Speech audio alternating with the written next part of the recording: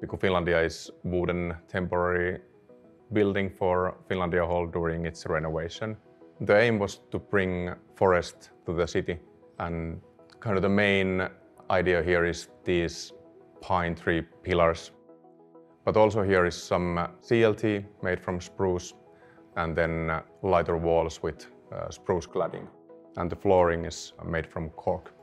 When Finlandia Hall doesn't need this building anymore here at Töölölahti, it will be disassembled and transported and transformed to the uh, kind of whatever it's needed in that phase, maybe kindergarten or school.